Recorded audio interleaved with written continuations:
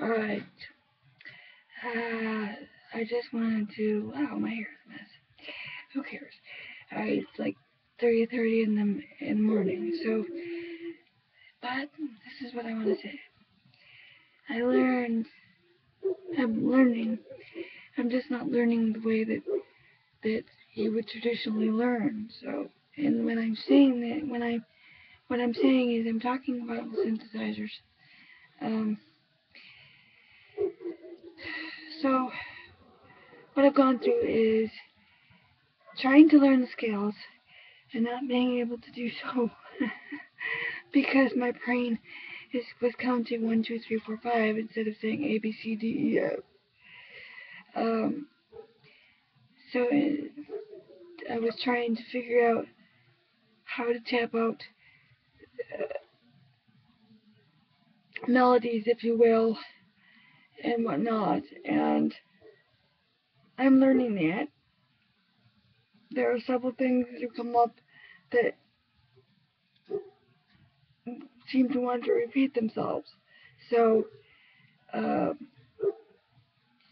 yeah, I'm learning. I've learned to to tap something out several times before I press the record button, which is a lot harder to do when you don't have one hand. You have one hand that is a little um, uncooperative, shall we say. But, um, I, I mean, I didn't say anything, um, because at the end of a practice session, it just sounds like noise.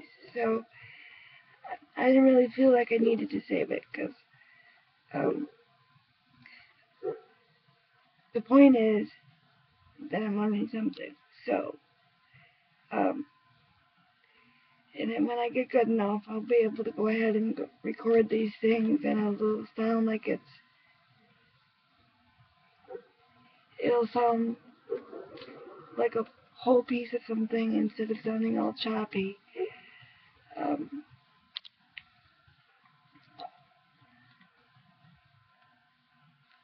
you can get things to sync up on the small one. You just have to know how to do it.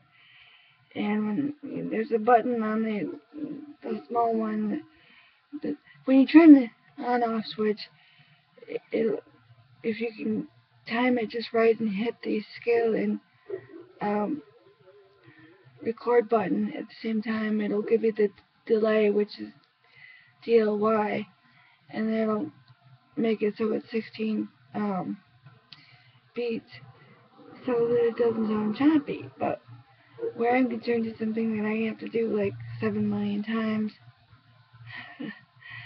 so, because I have to get my right side to cooperate, to sink in, if you will. Um, but then there are several things that I haven't really minded that I've done at 8 beats. So, anyway, alright, I'm done.